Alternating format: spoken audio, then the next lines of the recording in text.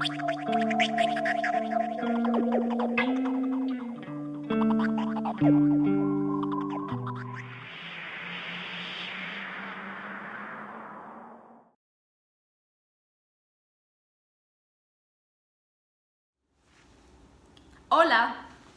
Buenas tardes bienvenidos.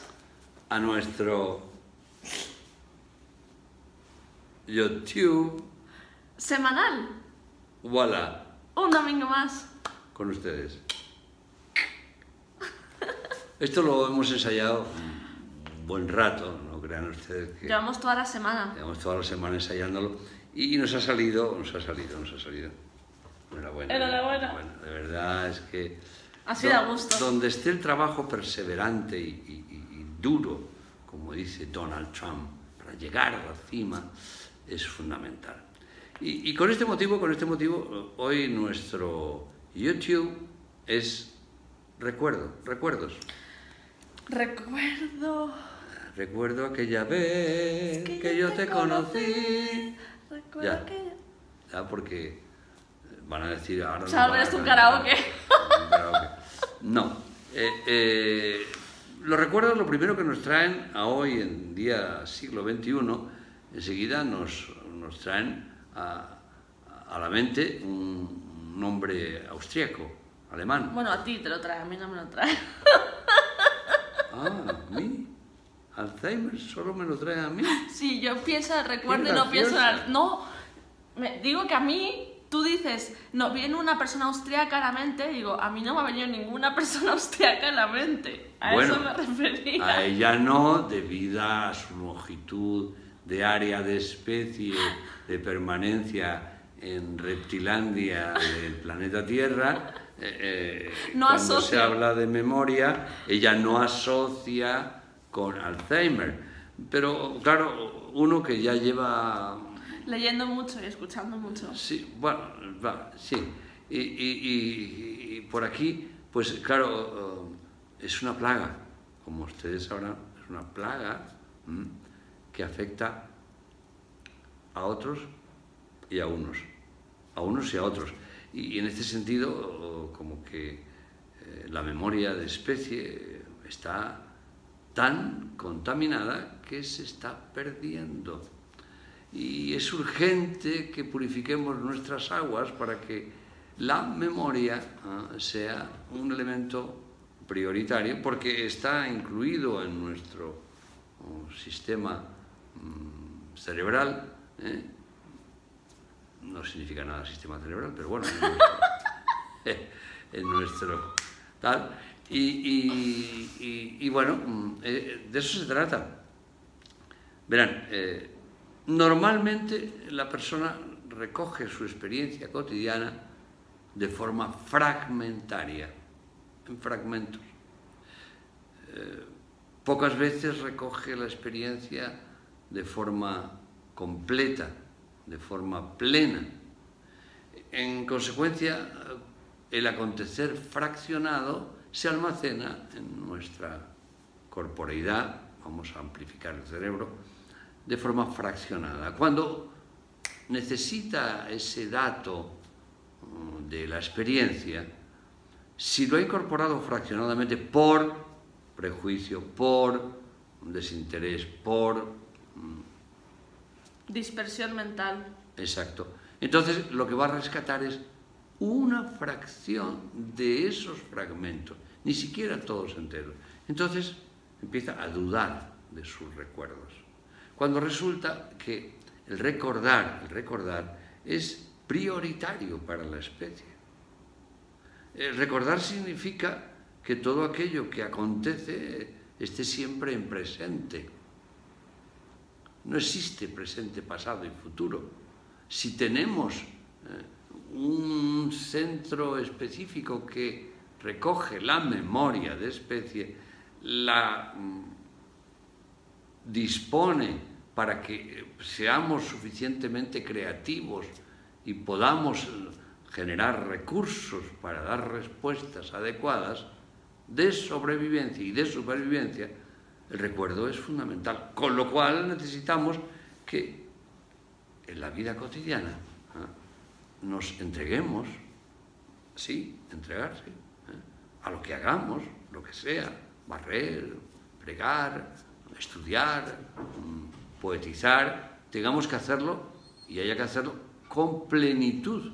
En la medida que lo hacemos con plenitud, estaremos en condiciones, claro está, de ¿eh? Dar una configuración de memoria plena y permanentemente presente.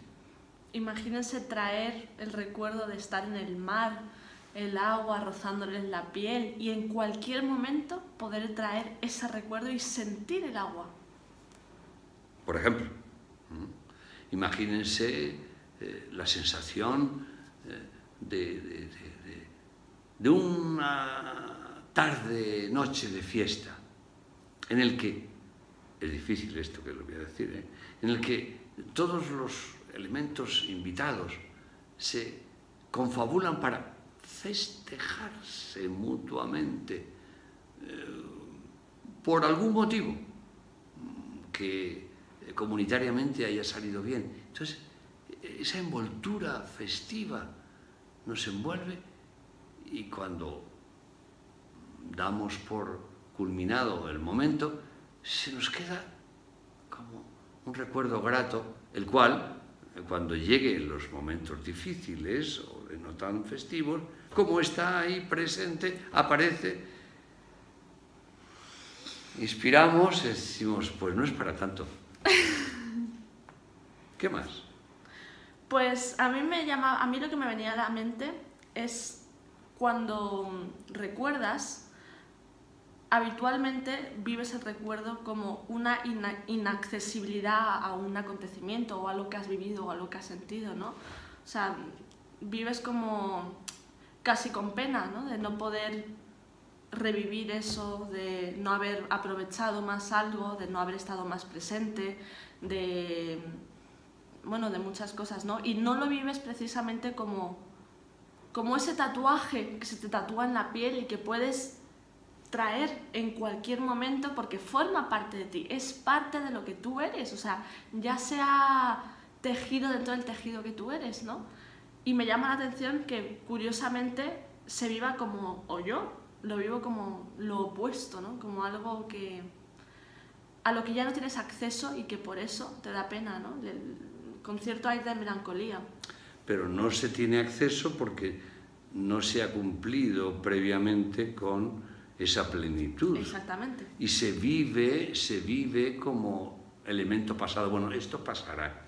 Mm. Esto pasará, mañana será otro día. En lugar de que pasa a formar parte de lo que tú eres. Exactamente. Y hay un elemento que a mí me gustaría añadir ya para culminar, y es aprender a recoger e, e incorporar eh, la experiencia ajena a uno. Mm.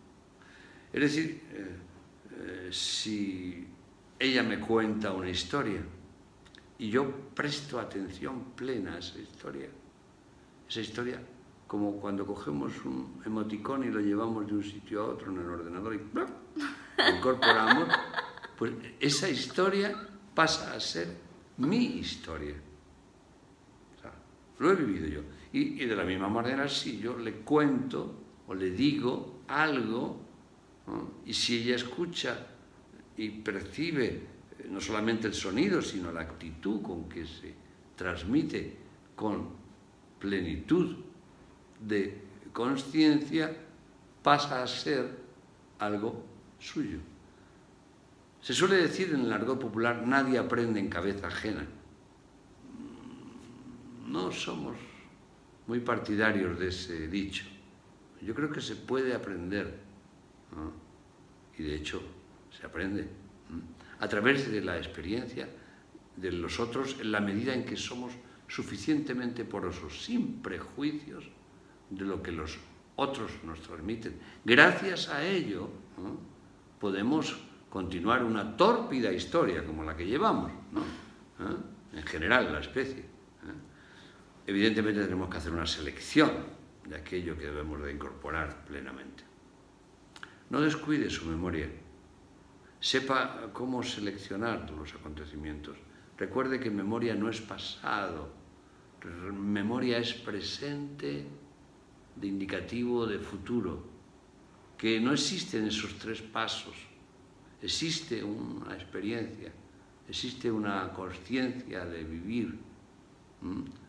Si incorporamos esa conciencia de vivir en plenitud, la podemos usar diariamente, indefinidamente, debido al halo de inmortalidad que adorna nuestra vida. Despide. Qué bonito te ha quedado. Ha quedado, ha quedado, ha quedado bien, la verdad. Pero, pero con, tu risa y tal. ¿Qué, qué, se te ha quedado de, de esto último? Vamos a hacer una prueba. Ahora qué he dicho. De esto último que has dicho, lo que me ha llamado la atención es precisamente que todo está rodeado por ese halo de inmortalidad y, y que entonces podemos recoger todo lo que sucede porque, a ver, esta es mi interpretación más de lo que tú has dicho, podemos recoger todo lo que sucede porque forma parte de lo mismo y como tal se puede integrar y no está separado. Pero vivencialmente, ¿te has sentido un poco más inmortal de lo que eres? En una milésima de segundo. Bueno, milésima a milésima. Se construye el segundo. Bueno, puedes llegar a los mil y pico de años y más milesimeando. Milesimeando, les esperamos el próximo domingo. Milesiemos juntos. Milesiemos juntos. Salud. Chao, chao.